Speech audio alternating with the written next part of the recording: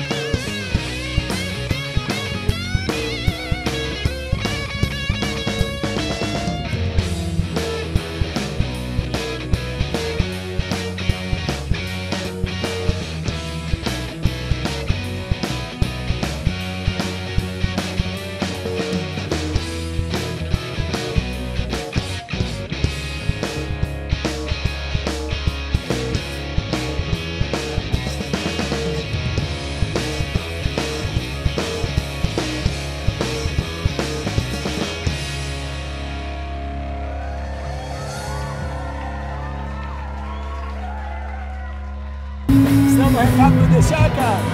Eu não tenho não. Paz e amor pro mundo de amanhã.